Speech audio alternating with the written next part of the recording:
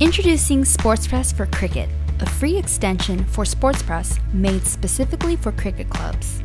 Once you've installed SportsPress for Cricket, in addition to all the features packed in SportsPress, you'll be able to add a row to record extras, automatically calculate total event performance, swap bowlers from the home and away team in the scorecard, and, in a separate section, display players who didn't bat.